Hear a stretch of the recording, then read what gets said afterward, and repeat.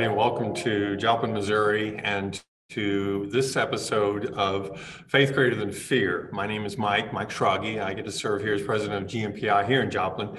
And we've been doing these interviews with men and women of faith over the last, so seven or eight months. And it's been thrilling to see how God and the Holy Spirit, particularly, have used these men and women of God to build his name and build his kingdom.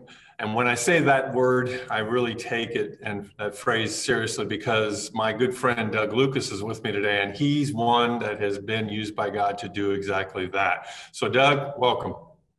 Thank you. It's good to be here, Mike. And I got to say thank you for the years you served on our board of directors for Team Expansion.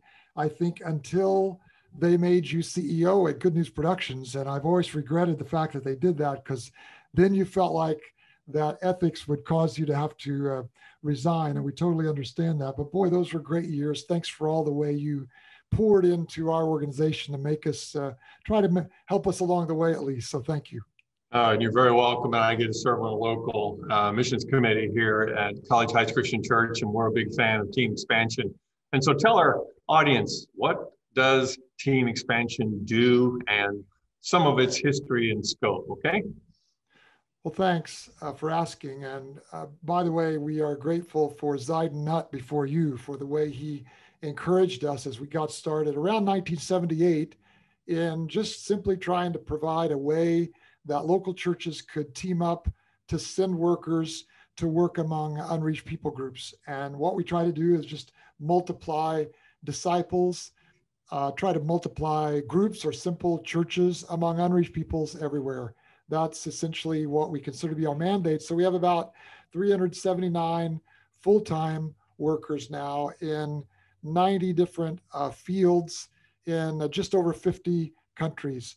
Uh, we have had a couple of really growing works these past couple of years because of, uh, by God's grace, some grants that we've gotten that have allowed us to do more, uh, I guess, uh, larger scale works in certain places that unfortunately since we're going to be on the web i won't mention the countries by name but one country that's been fairly stateless in east africa uh, who, they've done piracy and it's a dry place with very little water. And we are just this morning talking about starting our see it would be our eighth team um, in that country. And we have teams in two neighboring countries to work with people who flow back and forth across those borders uh, that's been a tremendous growing edge for us. And one of your workers in Nairobi has helped us with that work quite a bit. One of your GNPI, whatever you call them, like uh, remote uh, centers, you know.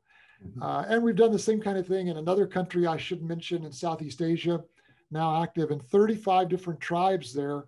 And it's all driven by grant money. So we're thankful that uh, those two projects have allowed us to step forward quite a bit. Will we still do the same thing? Mike, you were mentioning about the, the pins on the map on the back where we've uh, got some of the fields highlighted. It's just been a joy to work with some of the same churches that help uh, GNPI around the world, uh, and we're grateful to them as well. So getting close to that 400 number of workers, and one of the other cool things, isn't it, Doug, is that it's not just thinking of cross-cultural workers that are looking like us, but they're people of color, they're people from other countries. God's mobilizing a global army to do that, and therefore some of the growth you're having. Tell our audience a little bit when you say the word unreached people group, tell our audience what that means because you're in a very specific niche.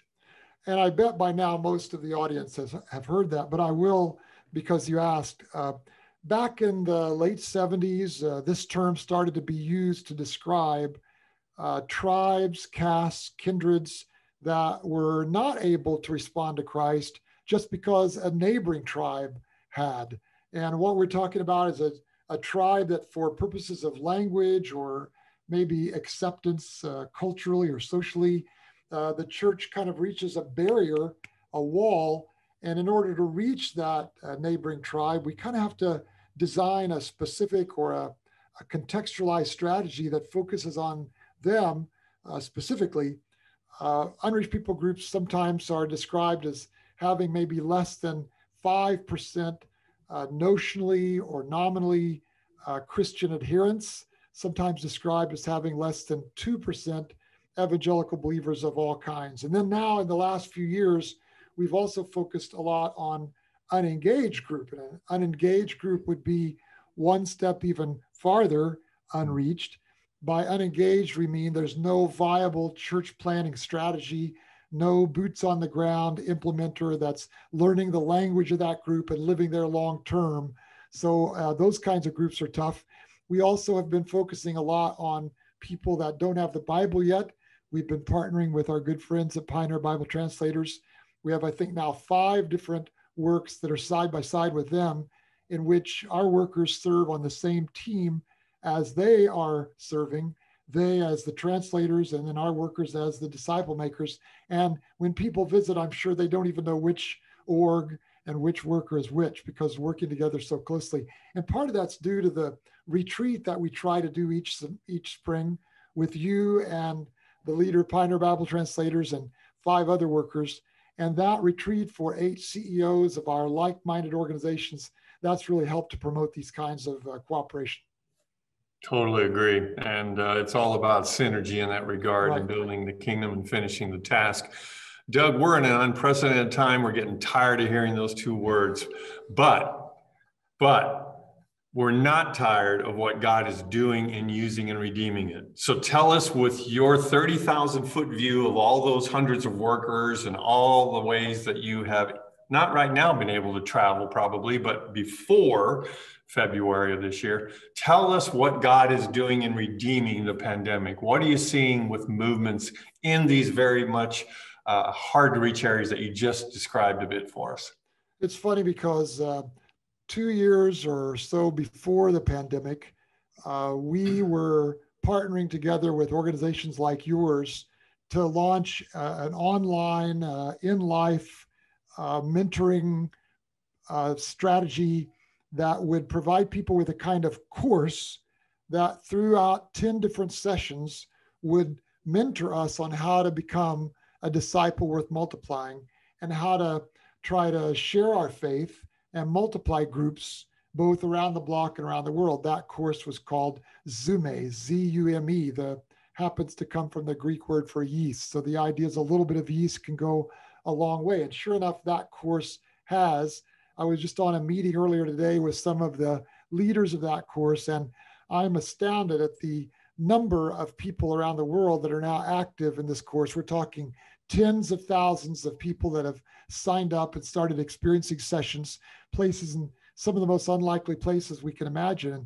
Uh, for instance, in uh, Pakistan this morning, we were just talking about tens of thousands of new courses and we can see whether or not they're watching and participating in the sessions.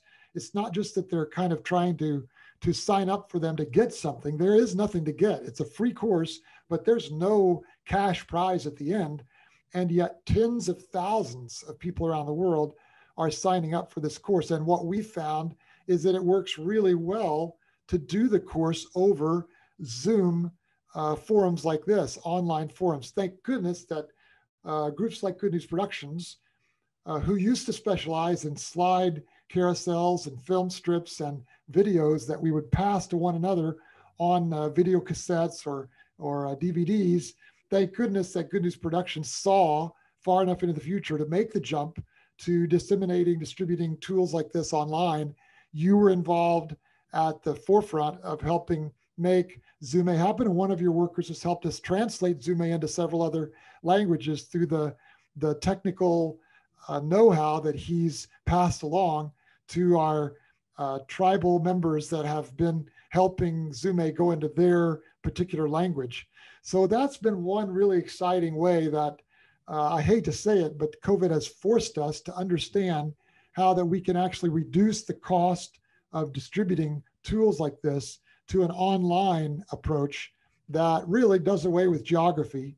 It does away with the old fashioned handing somebody a DVD and makes a kind of a flat earth so that we can now destroy the walls of geography and share with share Christ with people all over the world. So we've definitely been seeing that happen. I was just going through some numbers today at some of the places that in the middle of uh, this whole pandemic, when you think that everything would be locked down, we've actually been able to start new things. And part of that has been because of the growth of online courses like uh, Zume and uh, that's like manner. So I've just been looking here. It's enabled us to launch 740 new groups or simple churches so far this year, brings to a total of 3,985 active groups, and we have 25,812 people participating in those. And that's a real time number that's uh, actually real time, like as of this very moment, as we're making this recording. So people are still participating. It's just that they're having to shove sometimes to the online world instead of in person. Well, I tell people the, the numbers, I hope our audience is hearing what you're telling them, uh, Doug, and the fact that the pulpit and the kind of church centric, sermon centric elements may be stopped and blocked right now. But the preaching of God's words and making disciples has never been stopped. The church has never been closed. She just has to go a different way. And so, what you're describing with technology and the old, old message of a disciple making a disciple is really uh, something that is just for uh, such a time as this it's impossible so. to put into words. I think about a, a, friend that is a mutual friend for both of us. Uh, he's an outreach director of a mega church on the West Coast, and he uh, is trying to put the Zume course into work in his own church with new Christians who decide they want to accept Christ. And I know he had a course that recently had seven people signed up for, and uh, we just said to him, "Boy, we're we're seeing a trickle come in from a lot of different places around the world since you're doing that on Zoom anyway, eh, does it matter to you if we invite some other people? W- would you be willing to have some others come in? Hey, welcome back to our interview with uh, Doug Lucas. And uh, the internet is wonderful. Technology is great. But when it breaks, it really breaks. And that's just what happened in the middle of this interview with our friend uh, Doug Lucas. As we heard about what he does in leading team expansion, what we've heard is what God is doing in reaching unreached people groups that team expansion has a passion for and utilizing an online tool called Zume, Z U M E, to create these very simple church study groups around the world.